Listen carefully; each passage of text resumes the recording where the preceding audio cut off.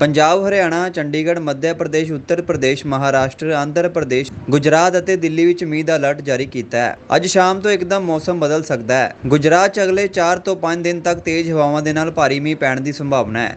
ਪੰਜਾਬ ਵਿੱਚ 2 ਦਿਨ ਤੱਕ ਭਾਰੀ ਮੀਂਹ ਦਾ ਅਲਰਟ ਜਾਰੀ ਕੀਤਾ ਹੈ। ਮੌਸਮ ਵਿਭਾਗ ਨੇ ਪੂਰਬੀ ਤੱਟਵਰਤੀ ਖੇਤਰ ਅਤੇ ਪੱਛਮੀ ਤੱਟ ਖੇਤਰ ਦੇ ਉੱਤਰੀ ਹਿੱਸਿਆਂ ਵਿੱਚ ਰੈੱਡ ਅਲਰਟ ਕਰ ਦਿੱਤਾ ਹੈ।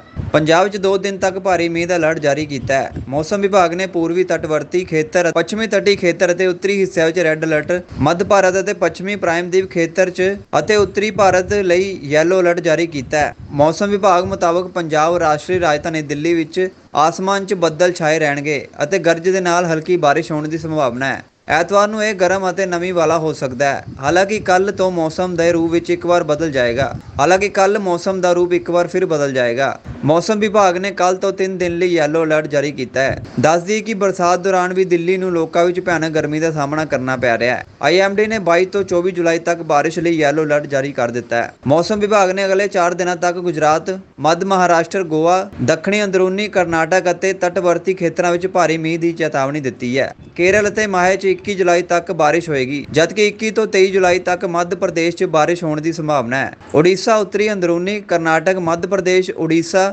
ਵਿਦਰਭ ਅਤੇ ਉੱਤਰੀ ਅੰਦਰੂਨੀ ਕਰਨਾਟਕ ਅਗਲੇ ਕੁਝ ਦਿਨਾਂ ਵਿੱਚ ਭਾਰੀ ਮੀਂਹ ਪੈ ਸਕਦਾ ਹੈ। ਬਿਊਰੋ ਰਿਪੋਰਟ, ਤਲਕਾ ਪੰਜਾਬੀ ਟੀਵੀ ਪੰਜਾਬ, ਹਰਿਆਣਾ, ਚੰਡੀਗੜ੍ਹ, ਮੱਧ ਪ੍ਰਦੇਸ਼, ਉੱਤਰ ਪ੍ਰਦੇਸ਼, ਮਹਾਰਾਸ਼ਟਰ, ਆਂਧਰ ਪ੍ਰਦੇਸ਼, ਗੁਜਰਾਤ ਅਤੇ ਦਿੱਲੀ ਵਿੱਚ ਮੀਂਹ ਦਾ ਅਲਰਟ ਜਾਰੀ ਕੀਤਾ ਹੈ। ਅੱਜ ਸ਼ਾਮ ਤੋਂ ਇੱਕਦਮ ਮੌਸਮ ਬਦਲ ਸਕਦਾ ਹੈ। ਗੁਜਰਾਤ 'ਚ ਅਗਲੇ 4 ਤੋਂ 5 ਦਿਨ ਤੱਕ ਤੇਜ਼ ਹਵਾਵਾਂ ਦੇ ਨਾਲ ਭਾਰੀ ਮੀਂਹ ਪੈਣ ਦੀ ਸੰਭਾਵਨਾ ਹੈ। ਪੰਜਾਬ ਵਿੱਚ 2 ਦਿਨ ਤੱਕ ਭਾਰੀ ਮੀਂਹ ਦਾ ਅਲਰਟ ਜਾਰੀ ਕੀਤਾ ਹੈ। ਮੌਸਮ ਵਿਭਾਗ ਨੇ ਪੂਰਬੀ ਤੱਟਵਰਤੀ ਖੇਤਰ ਅਤੇ ਪੱਛਮੀ ਤੱਟ ਖੇਤਰ ਦੇ ਉੱਤਰੀ ਹਿੱਸਿਆਂ ਵਿੱਚ ਰੈੱਡ ਅਲਰਟ ਕਰ ਦਿੱਤਾ ਹੈ।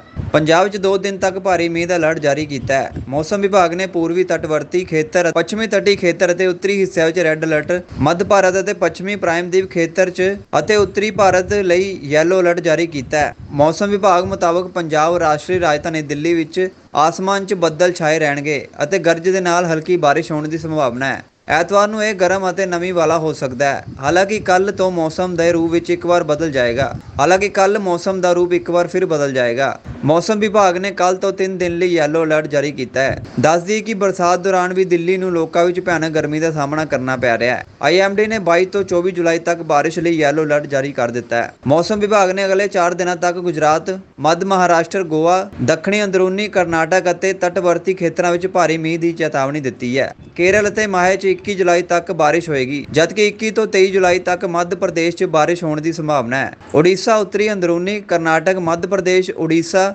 ਵਿਦਰਭ ਅਤੇ ਉੱਤਰੀ ਅੰਦਰੂਨੀ ਕਰਨਾਟਕ ਅਗਲੇ ਕੁਝ ਦਿਨਾਂ ਵਿੱਚ ਭਾਰੀ ਮੀਂਹ ਪੈ ਸਕਦਾ ਹੈ। ਬਿਊਰੋ ਰਿਪੋਰਟ, ਤਲਕਾ ਪੰਜਾਬੀ ਟੀਵੀ। ਪੰਜਾਬ, ਹਰਿਆਣਾ, ਚੰਡੀਗੜ੍ਹ, ਮੱਧ ਪ੍ਰਦੇਸ਼, ਉੱਤਰ ਪ੍ਰਦੇਸ਼, ਮਹਾਰਾਸ਼ਟਰ, ਆਂਧਰ ਪ੍ਰਦੇਸ਼, ਗੁਜਰਾਤ ਅਤੇ ਦਿੱਲੀ ਵਿੱਚ ਮੀਂਹ ਦਾ ਅਲਰਟ ਜਾਰੀ ਕੀਤਾ ਹੈ। ਅੱਜ ਸ਼ਾਮ ਤੋਂ ਇੱਕਦਮ ਮੌਸਮ ਬਦਲ ਸਕਦਾ ਹੈ। ਗੁਜਰਾਤ 'ਚ ਅਗਲੇ 4 ਤੋਂ 5 ਦਿਨ ਤੱਕ ਤੇਜ਼ ਹਵਾਵਾਂ ਦੇ ਨਾਲ ਭਾਰੀ ਮੀਂਹ ਪੈਣ ਦੀ ਸੰਭਾਵਨਾ ਹੈ।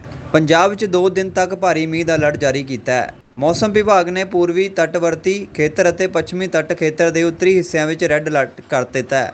ਪੰਜਾਬ 'ਚ 2 ਦਿਨ ਤੱਕ ਭਾਰੀ ਮੀਂਹ ਦਾ ਅਲਰਟ ਜਾਰੀ ਕੀਤਾ ਹੈ। ਮੌਸਮ ਵਿਭਾਗ ਨੇ ਪੂਰਬੀ ਤਟਵਰਤੀ ਖੇਤਰ, ਪੱਛਮੀ ਤਟੀ ਖੇਤਰ ਅਤੇ ਉੱਤਰੀ ਹਿੱਸਿਆਂ ਵਿੱਚ ਰੈੱਡ ਅਲਰਟ, ਮੱਧ ਭਾਰਤ ਅਤੇ ਪੱਛਮੀ ਪ੍ਰਾਇਮਦੀਪ ਖੇਤਰ 'ਚ ਅਤੇ ਉੱਤਰੀ ਭਾਰਤ ਲਈ ਯੈਲੋ ਅਲਰਟ ਜਾਰੀ ਕੀਤਾ ਹੈ। ਮੌਸਮ ਵਿਭਾਗ ਮੁਤਾਬਕ ਪੰਜਾਬ, ਰਾਸ਼ਟਰੀ ਰਾਜਧਾਨੀ ਦਿੱਲੀ ਵਿੱਚ ਆਸਮਾਨ 'ਚ ਬੱਦਲ ਛਾਏ ਰਹਿਣਗੇ ਅਤੇ ਗਰਜ ਦੇ ਨਾਲ ਹਲਕੀ ਬਾਰਿਸ਼ ਹੋਣ ਦੀ ਸੰਭਾਵਨਾ ਹੈ। ਐਤਵਾਰ ਨੂੰ ਇਹ ਗਰਮ ਅਤੇ ਨਮੀ ਵਾਲਾ ਹੋ ਸਕਦਾ ਹੈ। ਹਾਲਾਂਕਿ ਕੱਲ ਤੋਂ ਮੌਸਮ ਦੇ ਰੂਪ ਵਿੱਚ ਇੱਕ ਵਾਰ ਬਦਲ ਜਾਏਗਾ। ਹਾਲਾਂਕਿ ਕੱਲ ਮੌਸਮ ਦਾ ਰੂਪ ਇੱਕ ਵਾਰ ਫਿਰ ਬਦਲ ਜਾਏਗਾ। ਮੌਸਮ ਵਿਭਾਗ ਨੇ ਕੱਲ ਤੋਂ 3 ਦਿਨ ਲਈ ਯੈਲੋ ਅਲਰਟ ਜਾਰੀ ਕੀਤਾ ਹੈ। ਦੱਸਦੀ ਕਿ ਬਰਸਾਤ ਦੌਰਾਨ ਵੀ ਦਿੱਲੀ ਨੂੰ ਲੋਕਾਂ ਵਿੱਚ ਭਿਆਨਕ ਗਰਮੀ ਦਾ ਸਾਹਮਣਾ ਕਰਨਾ ਪੈ ਰਿਹਾ ਹੈ। ਆਈਐਮਡੀ ਨੇ 22 ਤੋਂ 24 ਜੁਲਾਈ ਤੱਕ ਬਾਰਿਸ਼ ਲਈ ਯੈਲੋ ਅਲਰਟ ਜਾਰੀ ਕਰ ਦਿੱਤਾ ਹੈ। ਮੌਸਮ ਵਿਭਾਗ ਨੇ ਅਗਲੇ 4 ਦਿਨਾਂ ਤੱਕ ਗੁਜਰਾਤ, ਮੱਧ ਮਹਾਰਾਸ਼ਟਰ, ਗੋਆ, ਦੱਖਣੀ ਅੰਦਰੂਨੀ ਕਰਨਾਟਕ ਅਤੇ ਤਟਵਰਤੀ ਖੇਤਰਾਂ ਵਿੱਚ ਭਾਰੀ ਮੀਂਹ ਦੀ ਚੇਤਾਵਨੀ ਦਿੱਤੀ ਹੈ। ਕੇਰਲ ਅਤੇ ਮਾਹੇ 'ਚ 21 ਜੁਲਾਈ ਤੱਕ ਬਾਰਿਸ਼ ਹੋਏਗੀ, ਜਦਕਿ 21 ਤੋਂ 23 ਜੁਲਾਈ ਤੱਕ ਮੱਧ ਪ੍ਰਦੇਸ਼ 'ਚ ਬਾਰਿਸ਼ ਹੋਣ ਦੀ ਸੰਭਾਵਨਾ ਹੈ। ਓਡੀਸ਼ਾ ਉੱਤਰੀ ਅੰਦਰੂਨੀ ਕਰਨਾਟਕ, ਮੱਧ ਪ੍ਰਦੇਸ਼ ਓਡੀਸ਼ਾ